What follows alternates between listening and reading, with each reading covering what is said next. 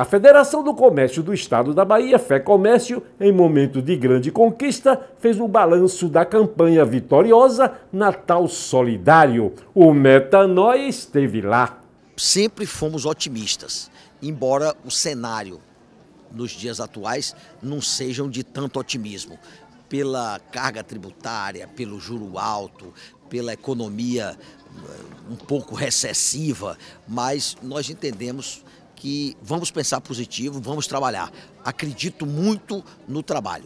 Quando se trabalha, o, o, os frutos vêm, entendeu? Eu digo sempre que o único lugar que o sucesso vem antes do trabalho é no dicionário. Colaboradores e organizações baianas participaram construtivamente do Natal Solidário através da Fé Comércio.